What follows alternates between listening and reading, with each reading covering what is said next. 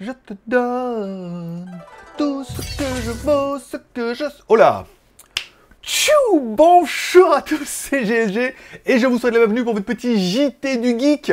Je suis GLG, votre dealer d'accro. On donne rendez-vous deux fois par semaine, les mardis et les vendredis, pour votre petit résumé des news high-tech, smartphones, films, séries télé et reviews à venir.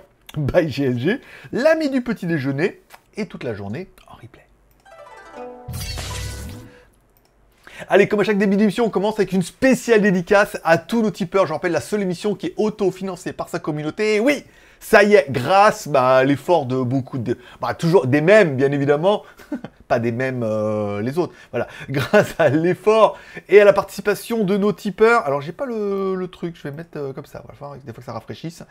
On les remercie. On remerciera alors les derniers Sébastien Paulet. On a Fredo62, Kengeno, Michael, André Mota, Cisco, Effet Shopping et Alex J qui sont donc nos derniers tipeurs et qui ont permis de passer le deuxième palier. Et surtout le troisième palier, c'est-à-dire deuxième palier, on a au moins une émission par semaine, et, troisième palier, on a au moins deux émissions par semaine. Donc oui, c'est garanti, le mois prochain, il y aura au moins une émission le mardi et le vendredi. On est à 64% pour trois émissions par semaine. Je suis en train de réfléchir, j'aimerais bien faire un, autre format en plus et tout. Donc je suis en train de réfléchir, je me dis, si vous, ben, l'envie vous en venait de dire d'avoir un peu plus de rendez-vous, petit café, et moi je pourrais faire un peu plus de vidéos. On parlera notamment, j'aimerais bien faire des trucs avec les déballages et tout. Je reçois tellement de produits que ça pourrait être vachement sympa de déballer les trucs un peu euh, en direct et tout, de faire. Voilà, euh, je sais pas, je réfléchis à, pas mal de choses. Donc voilà, donc merci à nos tipeurs, merci également à tous ceux qui mettent un pouce en l'air pour soutenir l'émission. Bah là, ça coûte rien, il suffit d'aller euh, en bas dans YouTube, de mettre un pouce en l'air. Et si vous êtes abonné, eh ben, bienvenue dans la famille. Si vous êtes resté abonné, bah, bien, bienvenue. et si vous n'êtes pas encore, bah, il ne vous reste plus qu'à le faire. Et comme ça, vous rejoindrez un peu cette grande communauté Oyez, oyez. Alors attends, j'ai pas cliqué là-dessus. voilà, donc ça sera tout pour euh, ça. On va mettre, allez, tac, ici. Boum, Bim badaboum, voilà. Allez, le geek.tv, ma vie, mon œuvre, toutes les vidéos, bah, toutes les vidéos que je poste directement sur mes deux chaînes, GLG Review pour les reviews, GLG Vidéo pour les JT du Geek. Elles sont sur le geek.tv, c'est plus simple, elles sont également sur JT Geek. Sur JT Geek, il y a tout et il y a des news. Le geek.tv, il n'y a que mes vidéos, c'est pas mal aussi. Je vous rappelle, si vous aimez ce joli t-shirt, qui n'est pas un t-shirt de que tu crois, voilà, on croirait que c'est une virgule, mais non, c'est une virgule barrée. Donc du coup, euh, AliExpress les vend carrément moins cher. Euh, 7,30€. Voilà, disponible en XS, S, M, L, XL, double XL, 3XL, 4XL, 5XL, 6XL. Et après, c'est des dessus de lit, après, on appelle ça des draps ou des couettes. pour mettre par-dessus. Voilà. Euh, qu'est-ce que je veux dire? Voilà, donc ça c'est tout. Vous pouvez aller tout. C'est de l'affiliation, donc vous allez directement chez le vendeur, vous arrangez un peu avec lui et tout. Et moi j'ai une petite commission, ça fait plaisir. Tiens d'ailleurs, pour fêter un peu ce nouvel, je me suis acheté une nouvelle casquette. Regarde. Alors, 120 bahts, c'est en promo en ce moment, regarde. 120 bahts, elle est jolie en plus, hein, brodée et tout, euh, voilà. 120 bahts, ça fait 3,20€. Voilà, sur le marché euh, ici. Donc c'est pas la peine de mettre un commentaire ouais, mais c'est de la contrefaçon. Ah, 3,20€. Euh, voilà, brodé et tout, euh, ça fait bien la blague. C'est-à-dire que bon, après, euh, même si je les lave quand même, je me dis bon voilà, si elle arrive en fin de vie, j'aurai moins de peine que, je sais pas comment ça vaut une vraie casquette. Je crois que c'est chéron, hein. Je vais dans les magasins et tout. Putain les enfoirés, alors que la qualité est pas souvent dingo dingo. Elles sont plutôt Mickey, on est d'accord. Bon, Skyphone, mon site de code promo, pas eu trop de temps cette semaine et tout, mais euh, on va voir comment on peut remettre ça en place. Il y a pas eu de, en fait, il n'y a pas eu vraiment de grosses promos et puis il n'y avait rien de, voilà, rien de bien cette semaine. Voilà. Bon, on parlera des premières news puisque, alors Meizu avait déjà confirmé, alors non, Meizu avait déjà confirmé que ça allait être euh, une des marques qui allait être partenaire de, euh, de HarmonyOS. Alors, c'est plus intéressant que Midea et tout, parce qu'on dit HarmonyOS, l'OS, euh, Huawei et tout. Donc, c'était plutôt intéressant. Et Meizu ne faisant que des smartphones, on s'est dit, waouh, enfin, on va avoir des smartphones autres que Huawei sous HarmonyOS. Et en fait, non. C'est plutôt pour leur partie IoT, leurs produits device connectés. Un peu comme Midea, qui fait des frigos et plein de produits comme ça qui sont connectés via un OS qui est compatible à HarmonyOS. Meizu, pareil, ils ont sorti une application murale, donc qui n'était pas dingo non plus, hein, encore une fois, qui ressemblait fortement à la e-light. Euh, même caractéristique, truc euh, euh, insecte-proof et tout, donc bon, pas, pas exceptionnel. On parlera bien évidemment de Coolpad qui devait faire un live en présentant ses nouveaux produits. Alors je rappelle, Coolpad, c'était une marque de téléphone, donc ça dit ah, peut-être qu'il y aura des téléphones et tout, mais non. Eux aussi vont aussi lancer des devices. Et je vous rappelle, et comme ça a été noté dans l'article, que Coolpad était euh, en banqueroute, bien évidemment, et qu'il a été racheté par le groupe LeTV.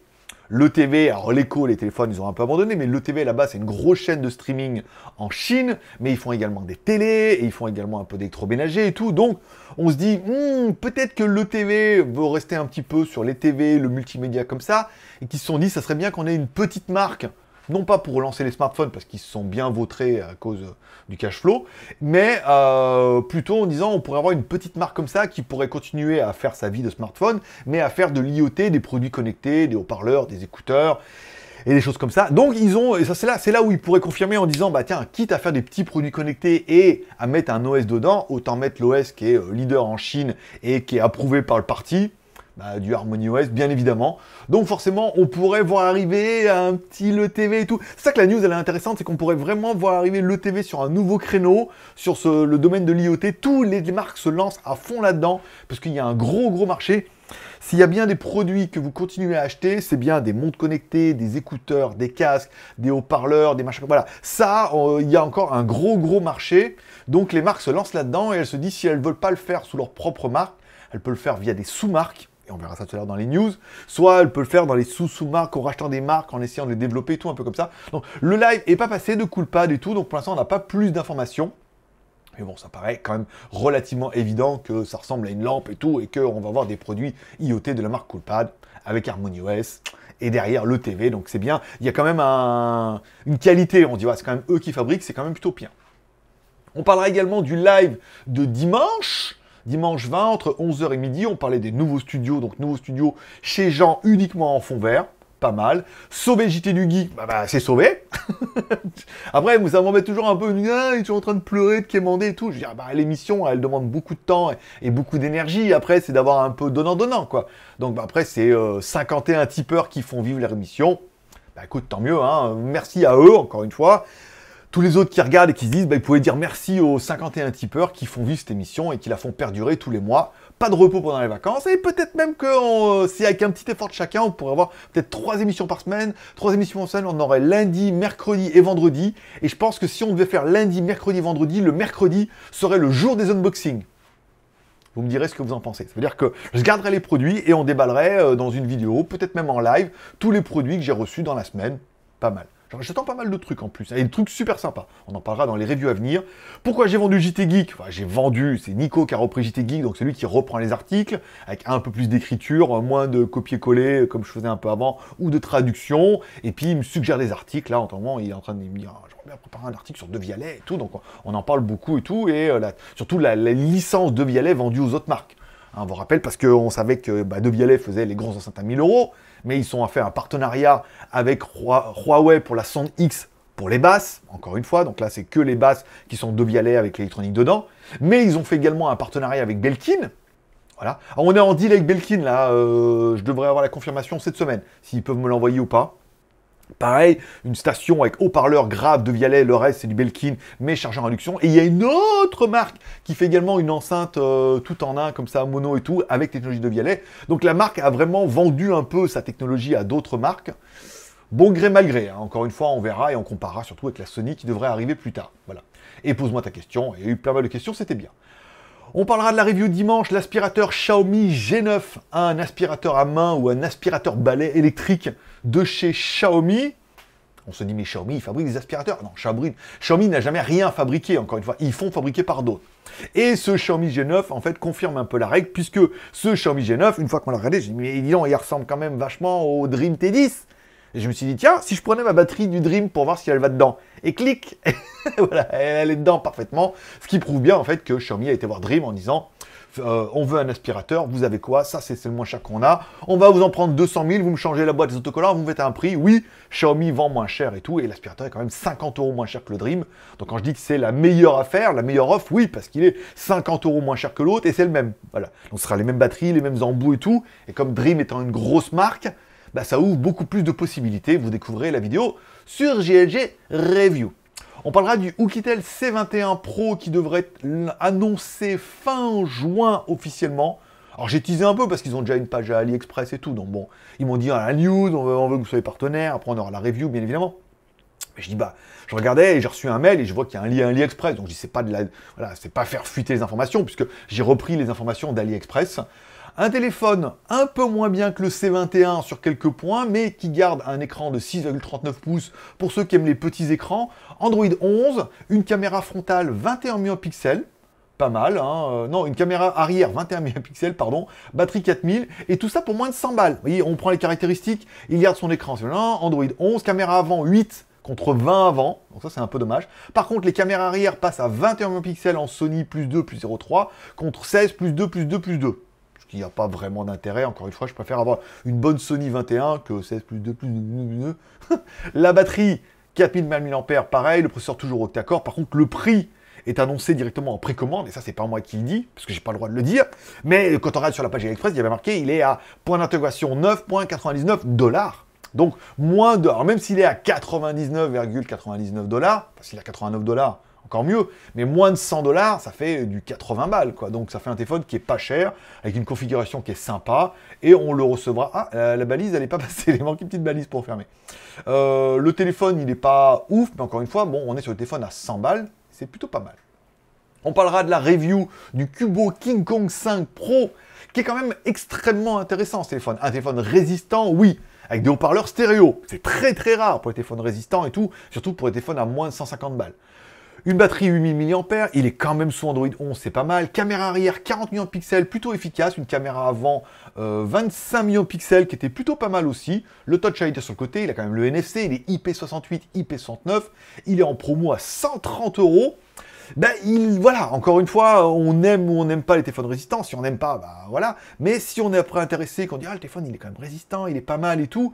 Et puis voilà, 130 balles, il apporte quand même des choses qui sont un petit peu nouvelles et un petit peu différentes. Moi, je l'ai trouvé intéressant. Encore une fois, on s'emballe pas, hein, soit t'aimes, soit t'aimes pas, mais bon, on n'est pas là pour, je suis pas là pour que le vendre à tout prix.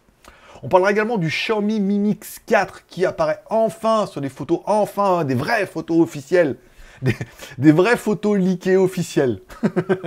non, des vraies photos leakées euh, de vrais téléphones, officiellement. Bon, le Xiaomi Mix 4 pourrait adopter une technologie de caméra in-display de 3 euh, de troisième génération. Le problème de ces caméras sous écran, c'est que l'écran, aussi transparent soit-il, ça reste un quadrillage, quadrillage de pixels. Et le quadrillage pixels, mettez un quadrillage sur une caméra, forcément, elles aiment pas trop. Là, apparemment, ils estiment avoir, euh, sur la troisième génération, arrivé à faire quelque chose de bien. C'est pour ça qu'on aura un écran qui ne sera que Full HD et non pas 2K comme on aurait pu l'espérer. Mais ils le disent bien dans la news, ça leur permet surtout des personnalisations uniques capables d'offrir de meilleurs effets d'affichage. On pensera bien évidemment à Apple, qui pendant longtemps n'ont pas mis de LED ou d'OLED et tout, et sont restés sur du LCD, mais en boostant la technologie et le logiciel, arrivent à avoir des rendus qui étaient quand même juste incroyables pour du LCD. Donc bon, ils sont capables de le faire, et en un bon Full HD ou un 2K pour bouffer de la batterie pour rien, donc le téléphone sera bien évidemment bezeless avec un finger in display, une caméra sous l'écran, un lecteur de sous l'écran et euh, ultra bordure euh, de tous les côtés et tout. Il est euh, visuellement, ça claque. visuellement, ça claque. Il faudra voir. On parle des nouvelles charges rapides de chez Xiaomi sans fil entre 70 et 80 watts. C'est ouf. Même en fil, t'as pas ça. 70-80 watts sans fil, 120 watts avec une charge filaire. Ça serait peut-être le premier à dépasser les 100 watts vraiment avec la charge, donc on pourrait avoir une double cellule dedans et tout. Enfin, la, série Mimix a toujours été un peu le... comment dire la mise en avant de la marque et tout, euh, l'avion de chasse ou euh, le gros flagship. Voilà. Donc euh, ils annoncent également que bon, la technologie de caméra in-display est en production, pourrait arriver sur les Mi Fold 2 et Mi 12, donc en 2021 et au début de 2022. Et puis l'intérêt, encore une fois, d'en produire masse pour de nombreux téléphones qui vont beaucoup se vendre, ça leur permet vachement de réduire les coûts de production, d'amortir la technologie, de réduire les coûts de production et de démocratiser peut-être une nouvelle technologie. À voir, à voir ce que ça va donner. Est-ce que oui, ça sera aussi bien que, que pas qu'un petit trou, un punch display ou qu'une petite découpe? Je pense que s'ils ont attendu aussi longtemps, c'est que ça devrait le faire. On parlera également du Vivo V21e. Alors, il y avait le, Vivo V21 qui vaut en Asie entre 10 000 et, enfin, environ 15 000 bahts. 15 000 bahts, ça fait du 300, ça fait du 400 balles, quoi, quand même. Là, on nous propose un Vivo V21e. Alors, le V21, pour comprendre, c'est un peu le concurrent du Xiaomi Mi 11, puisque le V21e est donc la version light, au e-light, la version light, et on voit que dans les caractéristiques, on retrouve pas mal de choses qu'on a vues sur le Xiaomi Mi 11 Lite. Une conception 7 vers le 67, il est petit, une caméra frontale 32 millions de pixels, c'est pas mal, prise en charge 44 watts, 8 euh, plus de la RAM étendue qui va taper un peu dans la RAM pour la RAM. 8, c'est pas, c'est pas vraiment 11, euh, c'est 8 plus 3 où on prend de la RAM dans la ROM et tout. Prise en charge de la 5G et tout. Pour l'instant, on sait pas grand chose de ce téléphone là. Bon, à part la charge rapide, l'extension de la RAM et tout. 6,44 pouces, donc ça reste un petit téléphone avec un Dimensity 700, pas excessivement cher. 8 plus 128 de la micro SD, batterie 4000, la charge Fun Touch OS. Et il sera vendu, pour l'instant il est annoncé déjà en Inde le 24, à 285 euros, ce qui est à peu près les prix de lancement qu'on avait eu sur le Mi 11 Lite, qui était entre 250 et 300 euros dans le lancement. Maintenant il a quand même pas mal baissé. Mais on est près dans la même configuration, même batterie, même écran, même processeur et tout. Donc on risque d'avoir vraiment quelque chose de similaire où bah, Vivo propose lui aussi une alternative à cette version Lite à moins de 300 balles. On a quand même une configuration qui est tout à fait décente et honorable. La review du jour. La review du jour, ça sera bien le hub USB-C 8 en 1 que j'utilise actuellement pour mettre sur mon deuxième écran. Qui, euh, ça marche très bien. Ça marche très, ça mieux surtout.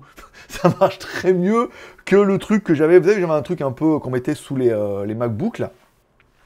Et j'ai mis ça, et là, plus de problème de défilement d'écran, plus de problème d'écran qui scintille et tout. Donc, ça venait vraiment, encore une fois, du processeur dedans qui était beaucoup trop léger. Je rappelle, il faut convertir l'USB type C en HDMI. Il faut qu'il y ait un processeur et de l'électronique et tout. Et bah, si c'est de, la, merdasse, et eh ben, tu as un rendu qui est pas génial. Si c'est de la bonne qualité, apparemment comme le Baseus, là, bonne connexion, bon truc et tout. Non, je je suis assez fan. Je suis, content que ça marche mieux déjà. Et euh, voilà, bah, je l'ai plugué dessus, ça marche bien. Il me reste plus qu'à réinstaller ma, mon routeur Xiaomi Wi-Fi 6, que vous avez vu dans le live dernièrement sur GLG Review, et on sera pas mal. Et enfin, on parlera de Dizo. Dizo, la nouvelle sous-marque de Realme sous-marque de Oppo pour le 1er juillet. Ah, ça a été, on est dans la blague. Hein. Voilà. Donc, euh, j'appelle le groupe BBK Électronique, avec les marques Oppo et Vivo. Oppo le père, Vivo le fils. C'est vraiment père en plus, hein, pour de vrai, voilà. Donc après, ils se sont dit, bon, voilà, on va essayer de lancer OnePlus. Donc ils ont fait euh, migrer euh, le CO et le numéro 2 pour monter leur propre marque Neversetter OnePlus. Puis ben, ils ont bien vu de vie ils ont, ils ont bien vite vu que ça marchait pas comme ils voudraient. Un petit peu comme Lenovo avait fait Zuc, pour ceux qui auront connu à l'époque. Lenovo, ils se dit, nous aussi, on va faire une sous-marque, notre technologie, on va défoncer, on va lancer la marque Zuc. Bon, le problème, c'est que Zuc a fini dans ton dans huc, hein, apparemment, euh, voilà. Pareil, euh, le TV a sorti l'écho et tout, toutes les marques se disent, ah, nous aussi, on peut faire, on a les technologies, on peut faire du moins cher. Ils sont pas arrivés, ils ont lancé la marque Realme, et la marque Realme est vraiment l'exutoire pour eux, puisque la marque cartonne au niveau des smartphones, la marque est très connue, la marque a très très bonne notoriété, puisque bah, ça reste du assemblé euh, Oppo Vivo, donc la qualité est très très bonne, et les produits sont vraiment pas chers, comme c'était un peu la philosophie de la marque, comme Xiaomi l'a fait avec Redmi, comme Huawei l'a fait avec Honor, encore une fois, c'est vraiment une histoire qui se répète. Bon, par contre, ils se sont dit, euh, ce qui pourrait être intéressant dans un groupe comme ça, c'est se dire, bon, bah alors les smartphones sur Realme, c'est pas mal, mais par contre, tout ce qui est IoT, produits connectés, haut-parleurs, écouteurs et tout, ça serait peut-être bien de faire une autre marque. Alors, ils avaient commencé à faire une gamme d'ISO, qui était une sous-marque, en fait, euh, sous-sous-marque de Realme, qui faisait des produits d'ISO, et en fait, d'ISO, eh ben, il euh, fabriquait les Diso GoPod, les Diso GoPad, les la Diso Watch et tout. Et puis, bah, bien évidemment, pour le groupe euh, Realme, il changeait le packaging et il mettait un peu comme ça. Comme les marques ont tous fait au début, hein, tous les produits Xiaomi étaient brandés Xiaomi au début. Puis après, au bout d'un moment, bah, les produits deviennent de la marque initiale. Je veux dire, les aspirateurs deviennent Roborock, deviennent Rodmi. Les montres Xiaomi deviennent soit des, euh, des soit elles deviennent des... Euh, comme celle-là, là, j'en peux plus c'est quoi la marque, mais euh, voilà. Donc les marques, les marques reprennent un petit peu, oui, pour les caméras, voilà, les marques reprennent un petit peu leur logo sur la boîte et deviennent éco, euh, écosystème Xiaomi ou eco-friendly ou Xiaomi-friendly. Bah là, un peu pour Diso, c'est pareil. Ils disent, voilà, nous, les produits à la base, c'était des Diso. En fait, c'était déjà d'une sous-marque. À mon avis, c'était déjà même une usine qui les fabriquait. Ça avait déjà une usine qui disaient nous on va le vendre sous la marque d'ISO, puis Realme dit ah nous on en veut, bah mettez notre, on prend du stock, on, change les boîtes, on met Realme dessus, puis après ils se sont dit bah peut-être ça serait bien, à mon avis, de relancer directement la marque d'ISO pour ne faire que des devices connectés. Donc du coup on pourrait avoir du DISO vendu chez Realme, alors du DISO qui pourrait être vendu DISO et Realme, enfin qui était vendu Realme actuellement, qui pourrait être vendu DISO et Realme dans un deuxième temps, puis après ça sera directement vendu sous la marque d'ISO. Il parle d'un lancement d'un haut-parleur Bluetooth. Donc bon, là, on a quand même un peu l'habitude de voir arriver. Lorsqu'on aura un gros truc bien massif et tout, qu'on voit un peu des watts, ça serait sympa, mais je pense pas. Et il parle d'un robot aspirateur, puisque du coup, on se dit, ah oui, Realme avait annoncé avec le, le Realme GT qu'ils allaient lancer un robot aspirateur. Robot aspirateur que, on m'a confirmé, il est on the way, hein. c'est-à-dire qu'on va le recevoir. Mais alors, du coup, ils disent oui, bah peut-être qu'en fait le robot ne pourrait pas sortir, pourrait ne pas sortir sous la marque Realme, mais pourrait peut-être sortir directement sous la marque d'ISO ou peut-être d'ISO by Realme. Tu vois, avoir, avoir, la, avoir la gueule de la boîte. Soit la boîte, nous, on va la recevoir comme on va la recevoir en avant-première. On aura une boîte d'ISO pure et dure. Soit on aura une boîte Realme parce qu'ils ne savaient pas trop, mais je pense qu'on va recevoir la boîte sous la marque d'ISO. Je vous dirai, euh, ça peut valoir le coup de faire un unboxing et on verra ce que donne ce robot aspirateur dans le, le méandre des robots aspirateurs, puisque je suis... J'étais peut-être le numéro 1 sur les smartphones chinois, mais euh, je prétends devenir numéro 1 sur les aspirateurs.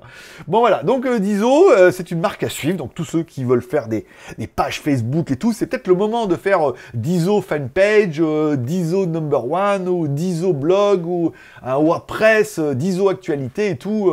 ne mettez pas Dizo tout court, hein, il faut bien que ce soit Dizo fanpage, parce que après ils vont vous tomber dessus, c'est une marque déposée, donc Dizo fanpage, Dizo actualité, voilà. Pouvez commencer à penser à faire des blogs, à faire des, chaînes YouTube, à faire des pages Facebook en disant banquer, euh, commencer à ranker sur la marque d'ISO, puisque euh, fan de d'ISO, euh, voilà, puisque la marque va certainement arriver un soir et d'ISO, fan de d'ISO by Realme, Realme c'est la vie, non c'est Xiaomi c'est la vie, voilà. Donc voilà un petit peu pour les news du jour. Allez, on parle un peu des reviews à venir. Alors, le ID 2 en 1, pour l'instant, il est mis un peu en stand-by. La caméra EZVIZ, elle tombera à mon avis fin de semaine, puisqu'il y a une grosse promo chez Boulanger en fait. Ils m'ont demandé de refaire la vidéo, parce que moi quand j'ai fait la vidéo, il n'y avait pas de promo, mais maintenant, si tu achètes deux caméras EZ... Enfin, c'est deux caméras, un pack de deux caméras EZVIZ chez Boulanger, ils t'offrent une, autre caméra euh, à 30 balles. Mais bon, c'est quand même sur un truc à 200 balles, le pack, il t'offre quand même une caméra à 30 balles. Donc l'offre est assez sympa. Et puis ils veulent que je change des trucs. J'avais dit porter 100 mètres, mais moi j'ai mis que 30 mètres. Ils m'ont dit, mais mettez bien que c'est 30 mètres maximum, parce que 300 mètres c'est loin. Et moi, il était livré qu'un chargeur euh, américain, parce que je suis en Asie. Et ils me dites bien que c'est en France, il y aura un chargeur français, parce que voilà, c'est normal, si je suis boulanger. Donc j'ai trois petites modifs à faire dans la vidéo, et après je leur envoie. Ils la valident, elle tombera fin de semaine. Je devrais attaquer certainement fin de semaine, puisque je suis presque dans les temps. Alors attends, il est où Il est là, hop là. Je devrais attaquer les Xiaomi FlipBuds Pro. Voilà.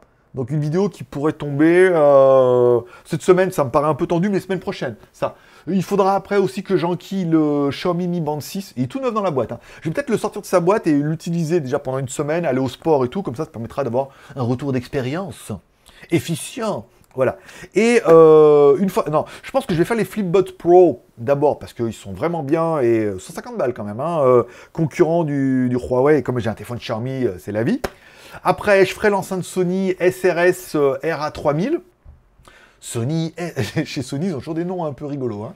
Voilà, donc la Sony SRS RA3000, voilà, une enceinte colonne avec des tweeters qui montent sur le côté, un base dedans et tout, produit connecté euh, compatible Spotify et tout, et on verra pourquoi un produit connecté c'est mieux qu'un produit Bluetooth, parce que ayant comparé les deux, oui, forcément. Par exemple, une des, un des détails, par exemple, si tu mets ton téléphone en Bluetooth sur ton enceinte, écoutes la musique avec Spotify, tu me dis, mais il n'y a aucun problème.